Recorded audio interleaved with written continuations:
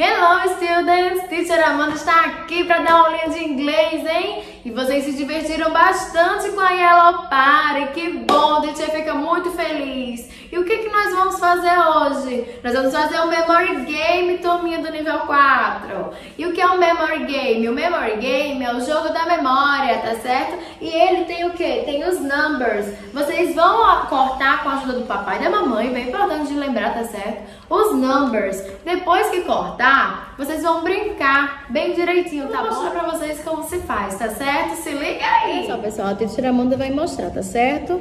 A atividade de hoje é na página 3 de material de apoio. O material de apoio fica no final do nosso book, tá certo? Então vocês vão ver o Memory Game. O que, que nós vamos fazer?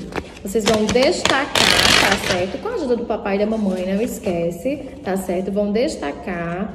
Em seguida, vão recortar as pecinhas, tá certo? Recorta, ó, no pontilhado, tá bom? Bem direitinho. Com a ajuda do papai e da mamãe dá tudo certo. Teacher, tudo ok? Cortei minhas pecinhas, ficaram assim. O que, que eu faço só, pessoal? Cortei minhas pecinhas, ó, elas ficaram assim. O que, que a gente faz depois? A gente vai colocar todas de cabeça para baixo, tá certo? Coloca todas. Quando terminar, a gente mistura, olha, a gente mistura. Chama o papai, a mamãe, o irmãozinho, a irmãzinha, tá certo? Para brincar.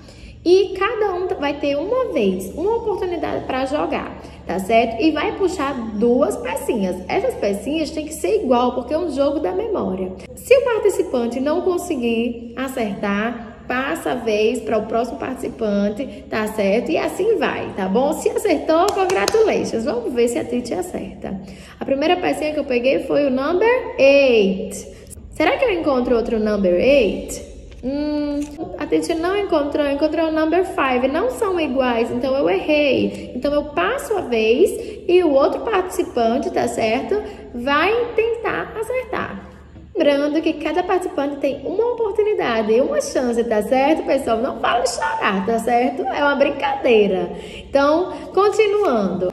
Então, eu tenho aqui o number one, e puxei o number one. Eles são iguais? São, então acertei, pontuei. E quem acertar, ó, vai guardando as fichinhas até o jogo acabar. E ganha quem tiver mais fichinhas, tá certo? Espero que vocês tenham gostado e se divirtam bastante.